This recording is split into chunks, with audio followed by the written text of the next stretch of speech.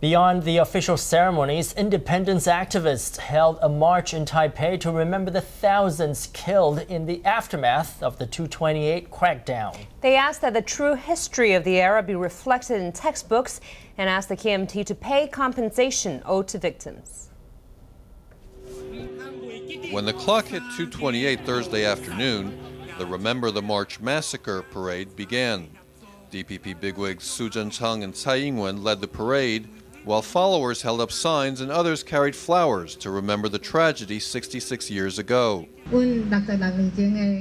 Beginning 66 years ago with the 228 incident, Taiwan's people experienced state violence, experienced the White Terror. February 28th is a Memorial Day and is a day for self examination. It's also a day where we show resolve to move forward. Compensation for 228 victims should not be paid with taxpayer funds. It should be paid from the assets of the KMT, which made a major mistake. Huang Kun-hui, the chairman of the Taiwan Solidarity Union, urged that the historical tragedy not be repeated. The